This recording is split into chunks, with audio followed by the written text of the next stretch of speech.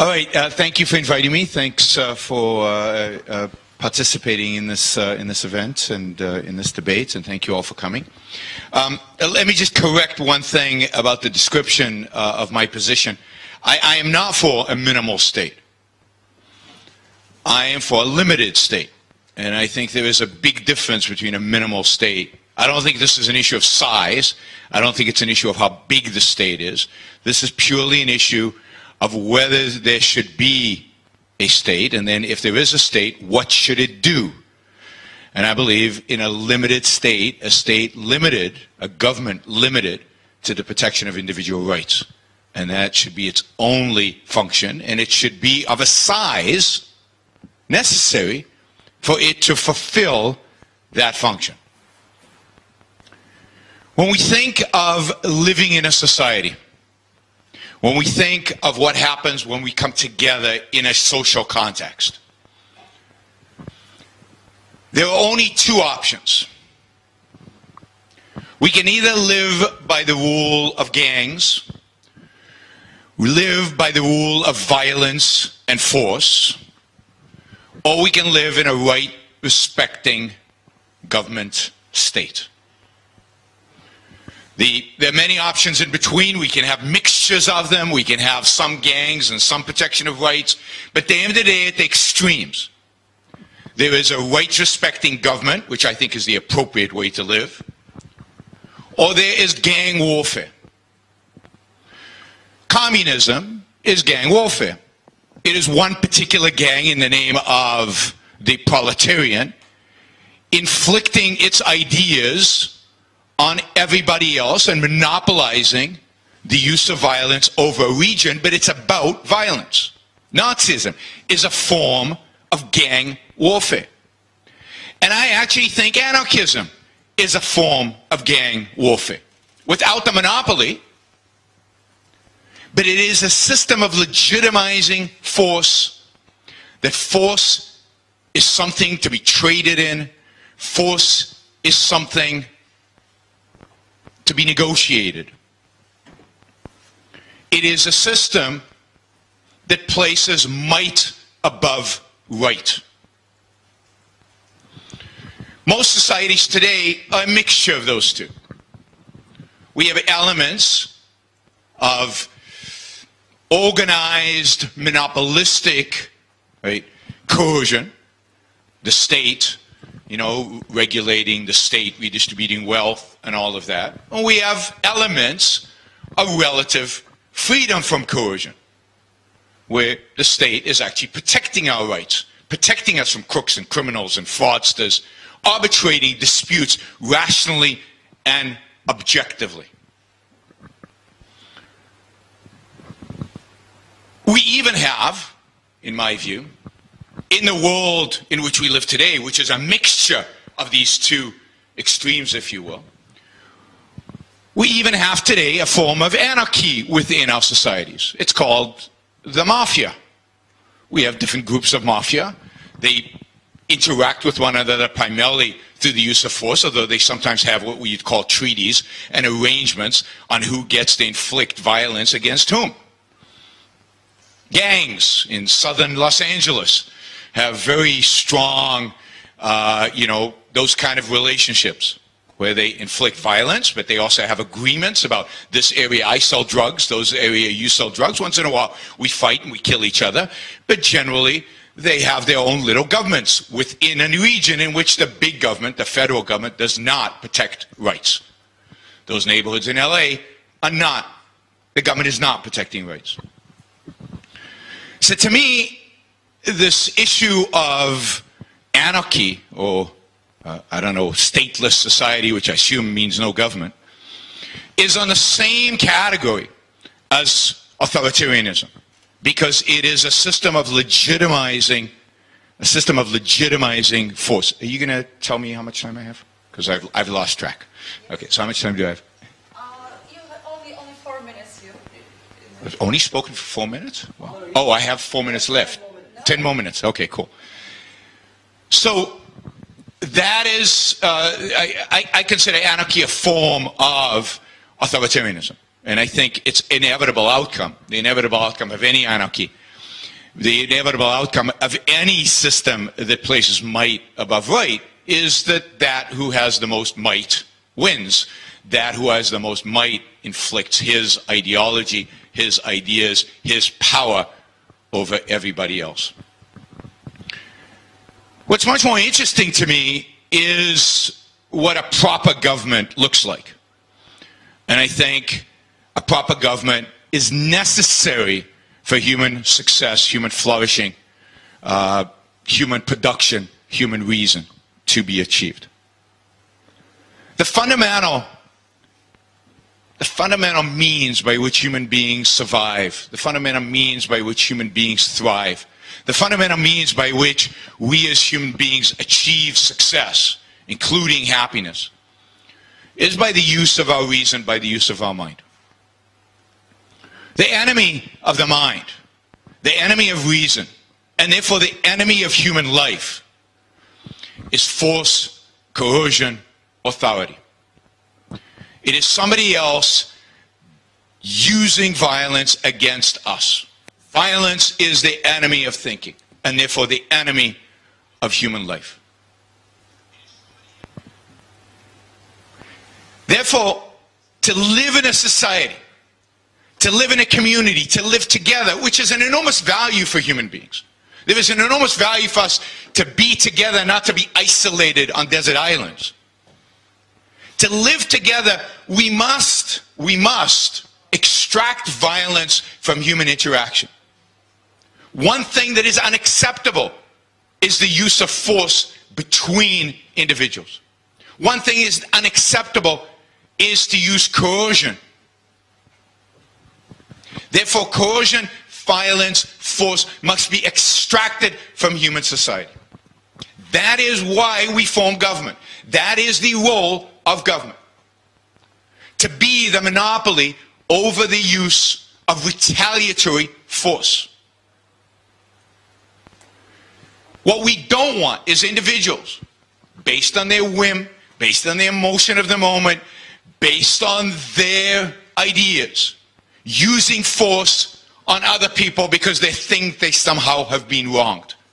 That use of force has to be placed under objective authority. It has to be placed in the, in the, uh, at the behest of that agency responsible for protecting our rights. Individual rights are the means by which we subjugate a society to moral law. It is the means by which we recognize the fact that an individual, individual has a right to his own life. He is free, must live his life free from coercion, free from force. And the job of government is to protect that individual from crooks, criminals, mafias, gangsters, to protect that individual from the use of force against him. And to arbitrate disputes between us even when there's no criminal involved. Sometimes good, rational individuals disagree. And there has to be a mechanism by which that dispute is resolved without us having to go into the street to duel it out. A peaceful resolution of disagreement is an important function of government. But all of these functions are complicated. They're hard to figure out. What is violence? What counts as force and coercion? How should disputes be resolved? Where are rights being infringed? And how does one protect against the infringement of rights? All of those questions, right, procedures about discovering who is who did what, what are the procedures of evidence? What are the procedures of courts? How do you determine the guilt of somebody or the innocence of somebody? Do you use a jury trial? In that case, how does a jury trial proceed? The whole process of defending individual rights is a complex, complex process. It is not obvious. It is not simple. And it must be done objectively. It must be done based on ideas, based on rational ideas. Not based on whim, not based on, I'll do it my way, you do it your way, How do we, how do we resolve things if that is done? There has to be one ultimate authority that determines which way is right. What rules of evidence count? What rules of evidence don't count? What is legitimate? What is illegitimate when presenting facts? Or what are facts? How do we determine them? So government's job is a complex one because it requires objectivity. It requires dedication to the facts of reality. But there is no way around it. Government is not a necessary evil, as many minarchists would argue. Government is a necessary good because it is a requirement for human survival, human success, human thriving. Without it, we cannot, we cannot peacefully plan long term, know what the clear rules and guidelines are for behavior, know where we violate somebody else's rights and where we don't. Without it, we have no certainty whether our actions are legitimate or illegitimate, whether we're going to be prosecuted by some legal agency or not be prosecuted by a legal agency. Government is required in order to provide that objectivity, which allows us to plan for the future, to think, to act, and to pursue a life, liberty, and happiness. So, government is a necessary good. Uh, anything that undermines, undermines the legitimate function of government works against the individual, his rights, and his ability to live a successful life. Now, the fact that governments today don't live up to the standard of what a good government should be is not a reason to abandon the idea of good government, the idea of individual rights.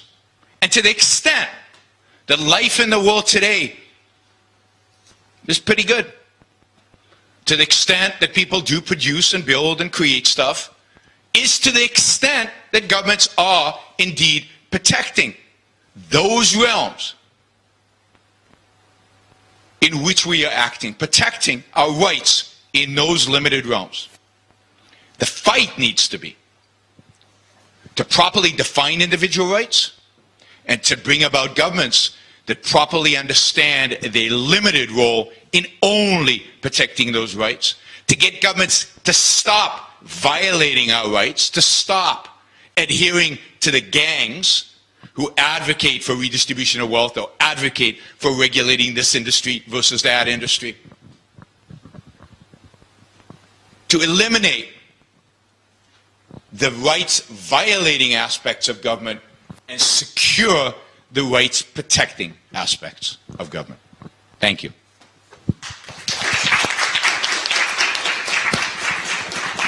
Thank you. What is the difference between objective and non-objective law, and what are the consequences in society of each? Well, that is one of the most important questions today. An objective law is a law which defines objectively uh, what constitutes a crime or what is forbidden and the kind of penalties that a man would incur if he performs the forbidden action. Uh, objective means uh, definable, graspable by a rational consciousness. Therefore, an objective law would be a law which a man can understand and apply, so that every man ahead of committing an action would be able to tell what uh, is the crime forbidden, what penalty would he incur if he uh, commits it, and can make a decision accordingly. To be a law-abiding citizen, he would, should be able to understand the law and apply it as guidance to his own social actions. Now, a non-objective law is one which cannot be defined. It means a law without specific definition, which may have as many different interpretations as there are men. Under a non objective law, a citizen cannot tell what is per- per- permitted or forbidden. He cannot tell what uh, action is socially accepted, what action will be punished, and what will be the nature of the punishment. A non objective law is left strictly at the interpretation of the authorities. Usually the judges, under dictatorships, it would be the commissars, but uh, in any case, a non objective law is one which a man cannot interpret himself, a law that is not defined and is, is in fact undefinable. The best example of it is, of course, antitrust legislation, where a man cannot tell actually what is permitted to him, what is forbidden, and may commit a, a legal crime without knowing that he's doing it. Mr. Rand, a very popular legal doctrine holds that law is actually what judges say it is, and that legislative enactments are only sources of the law which the judges use to derive what they believe the law is. Do you, do you, do you believe this is a primary cause of the present state of non-objective law? Uh, it's not the primary cause, it's one of the manifestations. I believe, if I'm not mistaken, it was Justice Holmes, uh, Oliver Wendell Holmes, who originated that doctrine. He was the, the worst philosophical influence on American law. Uh, that is a statement of pure non objectivity. This is the formula for tyranny. Because if the laws are whichever the judges interpret, I don't see the purpose of having any laws at all. It would simply mean that whichever the judges or the authorities decide at any given moment will determine what happens to the citizens of a country. It is not a formulation of law, it's the destruction, the negation of the concept of law.